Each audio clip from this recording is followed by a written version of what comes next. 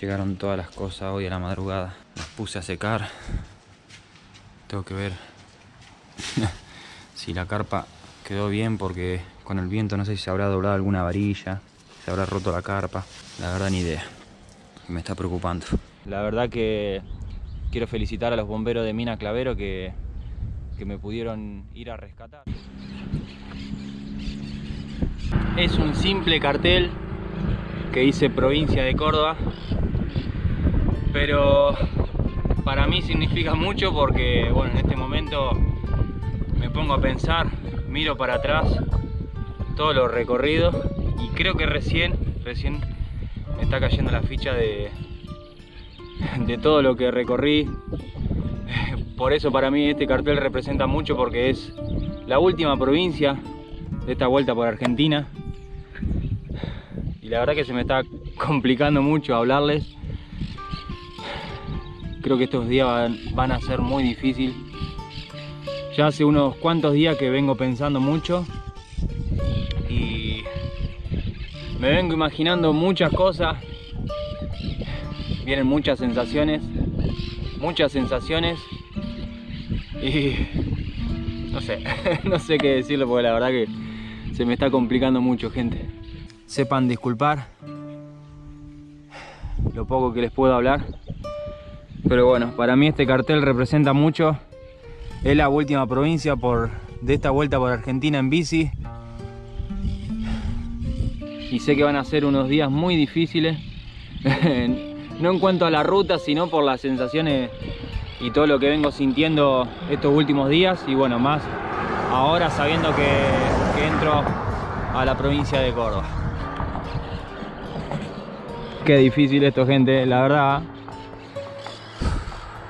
Pero bueno, vamos a continuar. Vamos a ingresar a la provincia de Córdoba. Y como siempre les digo, estamos en ruta.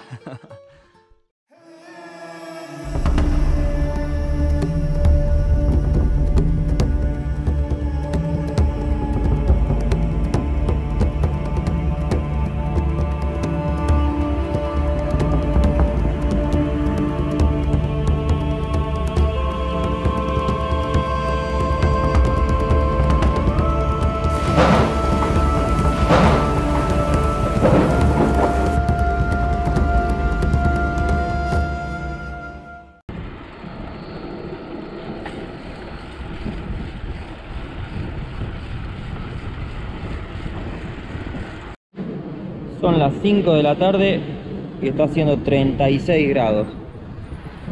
Impresionante el calor. Salí de la Finur hoy, ahí en San Luis. Hice 20, 25 kilómetros y la verdad que me la pasé en la estación de servicio adentro, con aire acondicionado, cargándolo de equipo, sin salir afuera porque la verdad que asperísimo, áspero, áspero el calor que está haciendo muy fuerte el sol. Quizá para muchos van a decir 36 grados, no es mucho, según de qué lado sean y estén acostumbrados, capaz que a más calor. Pero para mí, esta temperatura hay que respetarla porque si no, no es joda, además pedaleando. Así que vamos a avanzar poquito. Ya son más de las 5 de la tarde. Y bueno, mientras estaba en la estación de servicio también aproveché a mirar un poco el mapa y vi que acá a 11 kilómetros hay un río y vamos a ver si podemos aprovecharlo para refrescarnos un poco y además para hacer noche directamente ahí.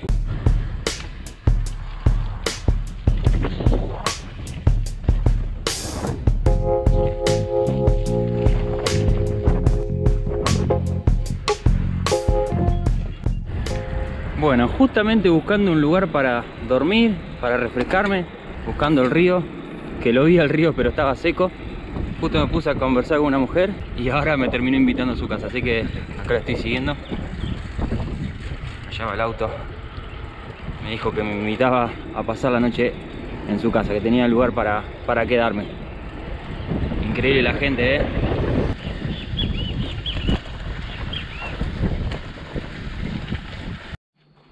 Bueno, ya estoy en la casa de Diana, que nos conocimos 5 minutos en la calle. Vinimos acá para la casa bueno, ahí dejé la doradita. Y me dijo que se iba a dar una vuelta en la bicicleta. que me dejaba la casa. Así que increíble esto, gente, increíble. Y bueno, me dijo que aproveche y que me meta en la pileta. Nada, nada, esto es increíble, increíble. Si lo contás, no te lo creen, gente. Increíble esto. Cada vez me sigue sorprendiendo más la gente. Impresionante.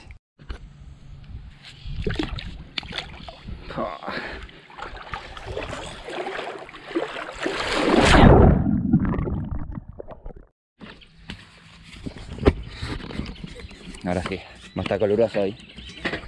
Chao, Diana. Muchísimas gracias por todo. No, por favor. Hasta pronto. Hasta pronto.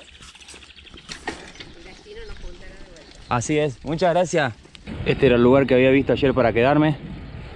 Más allá al costado, abajo, está el río, pero totalmente seco. Y bueno, justo acá cerca estaba Diana, nos pusimos a conversar y ahí fue que me invitó a su casa. Qué increíble, ¿eh? Qué increíble la gente. No para de sorprenderme nunca.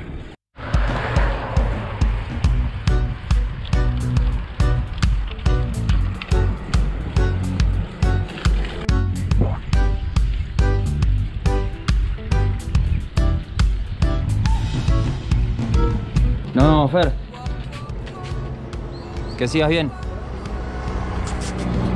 Justo había parado a comer algo acá en la garita. Y también justamente pasó Fer, vio la doradita, la reconoció y frenó a charlar un rato. Bueno, voy a aprovechar a continuar. Dejo la garita que me dio sombra. Aproveché a comer, a descansar, a dormir una siestita.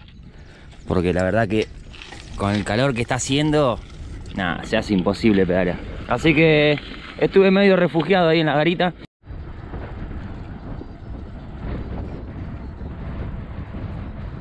Llegué a este cruce y hay dos opciones. O sigo por tras las sierras o me voy por las altas cumbres. Y bueno, como siempre, todo no se puede, así que hay que elegir un camino, sí o sí. ¿Vos, Doradita, qué decís? ¿Por dónde querés ir? bueno, creo que me señaló las altas cumbres. Allá vamos. Camino a altas cumbres abierto. Ruta 34.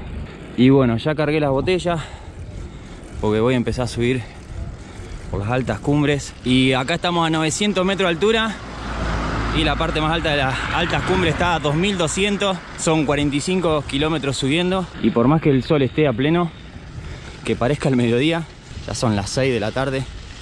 Así que vamos a pedalear un poquito más. Esperar que en un rato baje un poco la temperatura, se ponga lindo. Y bueno, seguramente arriba, mientras vayamos subiendo, va a cambiar un poco la temperatura.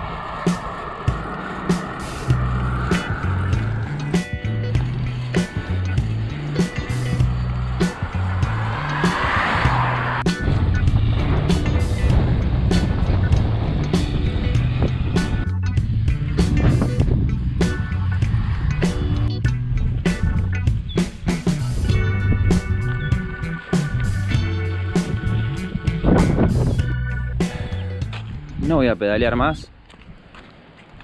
Y ya decidí que me voy a quedar por acá. Porque encima se levantó un poco de viento. Y ya se está terminando el día, entonces encontré este lugarcito que me gustó, esta bajada, que está acá nomás al lado de la ruta. Ahí pasó una moto justo. Ya nos vamos a quedar acá. Mañana continuaremos. Solamente 10 kilómetros subimos. Y bueno, quedan otros 35. Hay cambio de planes. Estaba intentando armar el tarp ahí, pero el viento no me lo permitió, así que me hice un lugarcito por allá donde va a estar más protegido y bueno, más protegido el viento. Así que voy a tener que armar la carpa.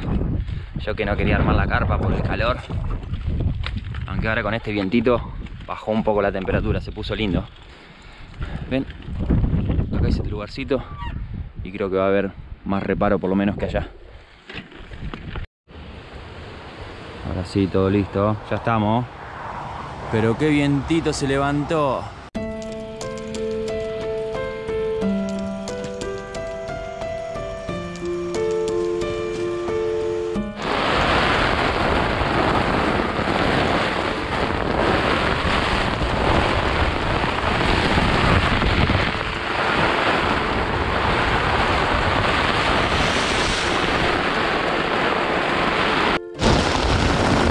Esto está muy complicado, estoy teniendo la carpa acá. Muy fuerte la tormenta, no lo puedo creer. Me parece que ya se salieron las estacas, todo. Sinceramente tuve que comunicarme con los bomberos de acá de Mina Clavero y comentarle la situación. Me dijeron que van a venir a buscarme.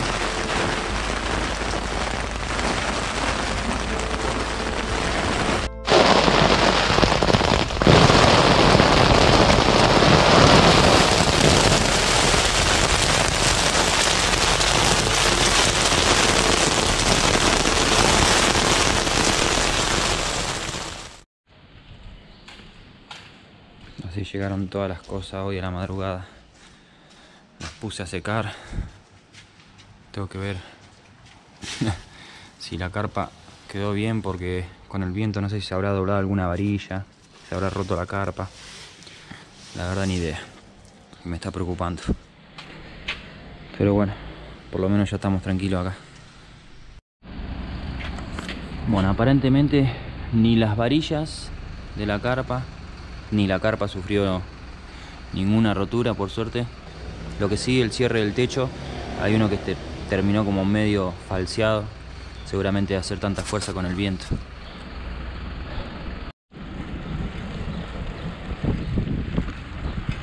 Para mí es fundamental viajar con aplicaciones para poder planificar la ruta. Eh, en este caso, por ejemplo, una aplicación para corroborar el clima, cosa que yo ayer cometí un gravísimo error, no miré el clima, no corroboré nada y bueno, así fue como pagué un mal momento, la verdad que la pasé horrible anoche. Quizás en los videos no, no estuve filmando en el peor momento en que la pasé ahí adentro de la carpa. La verdad que fue horrible. No sé cómo se me pasó de largo ayer eh, haber corroborado en la aplicación. Debe ser también un poco que sinceramente tengo la cabeza en otro lado la última provincia eh, y bueno, eh, siento que, que, fue por ahí que se me pasó de largo la ansiedad de, de, seguir pedaleando, de terminar con, terminar con esta vuelta por Argentina, terminar este sueño, cumplir el sueño, porque si realmente hubiera corroborado el clima, eh, hubiera planificado las cosas de otra manera, quizás me hubiera quedado acá en Mina Clavero o hubiera buscado un refugio si hubiera seguido avanzando, pero bueno, por suerte la verdad que quiero felicitar a los bomberos de Mina Clavero que, que, me pudieron ir a rescatar. Y la verdad que tuve suerte en que en ese momento tenía señal para poder comunicarme con ellos porque si no la verdad que hubiera terminado muy mal la cosa. Eh, en un momento prácticamente la carpa me estaba aplastando se habían salido las estacas se habían salido los vientos de, del techo que, que había tirado para que la carpa quede más rígida. La verdad que fue un momento horrible. Creo que lo más importante de esto es eh, reconocer ¿no? que, fue un error propio mío, porque no es que me haya sorprendido la tormenta, sino que la tormenta existía, ya estaba pronosticado, pero bueno, el error fue mío de no, no corroborar el clima, no observar eso y bueno, nuevamente muchísimas gracias a los bomberos de Mina Clavero que en medio de la tormenta salieron a buscarme y bueno, me brindaron un espacio para poder dormir ahí en el cuartel. Muchísimas gracias.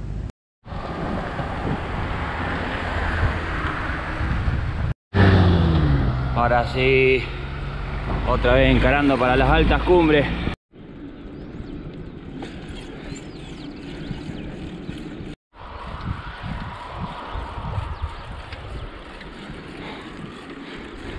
Qué momento que viví acá. Se me viene en la cabeza el momento cuando parecía que me iba a aplastar la carpa. Si no fuera porque la sostenía ahí y bueno, porque vinieron los bomberos rápido, yo creo que hubiera quedado enroscado con la carpa en cualquier lado. Encima, en, ese momento yo había armado la carpa ahí porque el viento soplaba acá, entonces esto hacía de reparo. Pero después a la madrugada cambió el viento y soplaba de acá para allá, entonces estaba todo descubierto. Por eso estaba complicadísimo. Pero bueno, ya pasó, así que vamos a seguir ruta por las altas cumbres.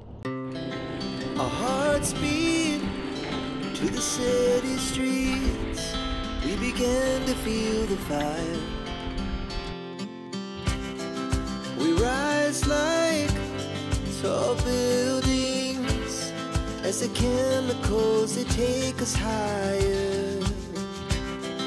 The night's young, and it's just begun as she puts her hand in mine. We wanna chase the night,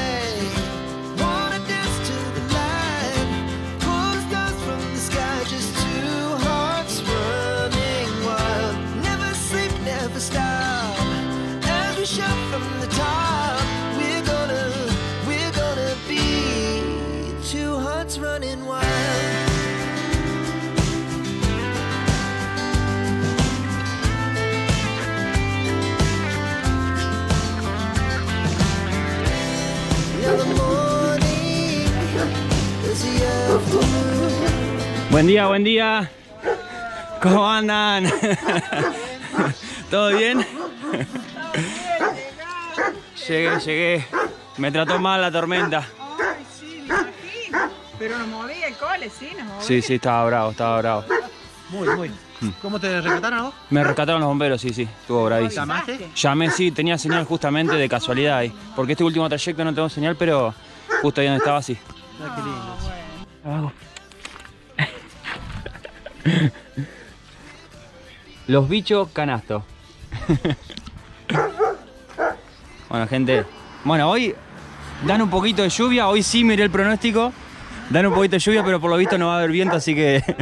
Porque los trató bien mal el viento ustedes también, ¿no? sí, nos movía el cole, sí.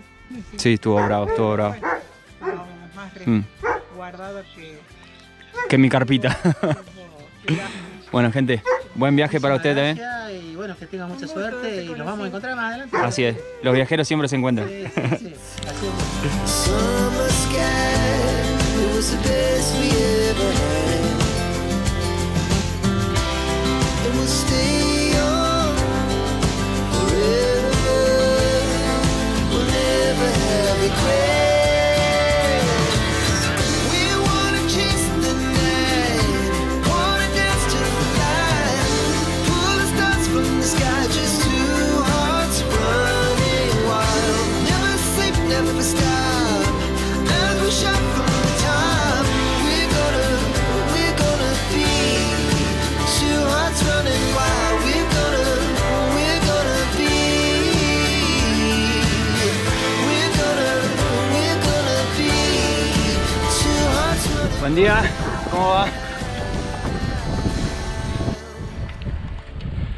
A la parte más alta del camino, las altas cumbres, un poco más de 2200 metros de altura. Yo pensé que iba a estar un poco más dura la subida, pero estos 45 kilómetros fueron tranquilos. Así que allá adelante vamos a empezar a bajar y ahí sí nos vamos a ir como locos.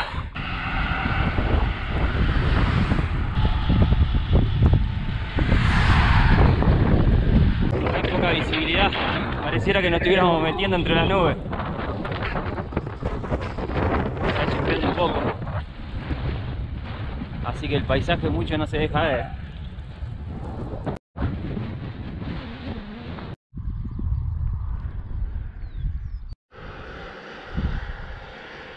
Está complicado, gente, ¿eh? no se ve a 20 metros. Un peligro la ruta así. Miren, ahí viene un auto, no se ve nada. No, no, un peligro. Prefiero ir por acá tranquilo. Por más que sea una bajada, yo quería disfrutarla, pero bueno, no queda otra. No, impresionante. ¿eh? Nada de nada se ve.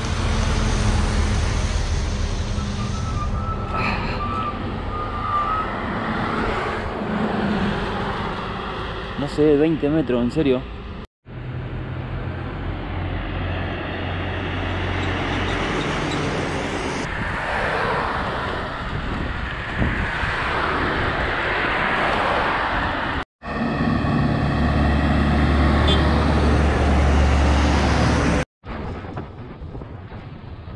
Ahora sí se abrió un poco la niebla y podemos disfrutar de la bajada en el asfalto. El paisaje a medias, no se ve mucho todavía, pero bueno, todo no se puede pedir.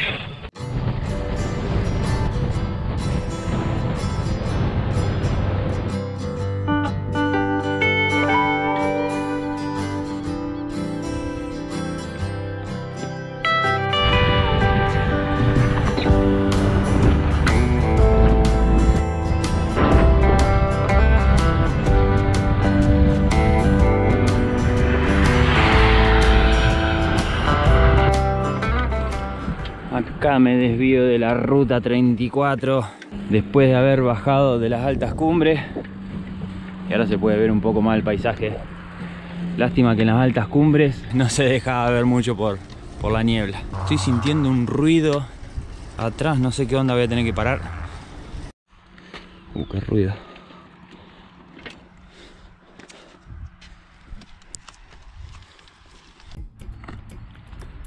Bueno, por lo visto, faltando tan poco para terminar la vuelta por Argentina en bici, empieza a pasar de todo. Y el problema que tengo ahora, mejor dicho la doradita, es que se acaba de partir el cuadro. Ahí se quebró. Se quebró el cuadro ahí. Uf, complicadísimo ahora. ¿eh? Qué justo. Por favor. Qué mala suerte, qué mala suerte. Bueno. Vamos a probar, pedalear un poquito, a ver cómo sigue esto, si sigue haciendo mucho ruido. Y si no, veremos. No me va a quedar otra que hacer dedo, en todo caso, porque estoy lejos todavía de, de una ciudad, de un pueblo. Estoy como a 40 kilómetros. Así que, ¿qué te pasó, doradita? Te quebraste la patita.